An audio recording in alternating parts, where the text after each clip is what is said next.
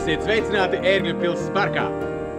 Ērgļu pilsētas tapšana aizsākās tālajā 14. gadsimtā, kad vairākus gadu desmitus to būvēja Tīzenhauzenu dzimta.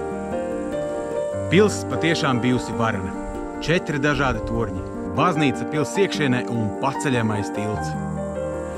Vienā no torņiem apslēptos dārgumus joprojām sargā Tīzenhauzena sarksuņi. 19. gadsimta vidū Fontranzē dzimta šeit sāka būvēt mūžas kungu māju ar trīsstāvīgu neogotisku torni, kurš daļēji saglabājies vēl šobrīd. Bet mūsu vērtīgākais mantojums ir Rudolf Blaumaņa darbi. Viņš dzimis šajā mājā.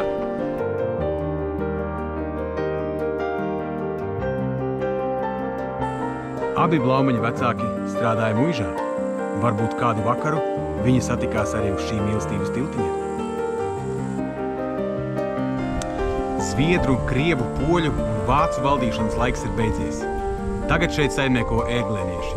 Kopīgiem spēkiem pilsparkā tiek veidota brīnišķīga vide atpūtai un spēku uzkrāšanai, arī ciemiņiem. Ja arī tu vēlies gabaliņu iedvesmas, tad brauc uz ērgļiem.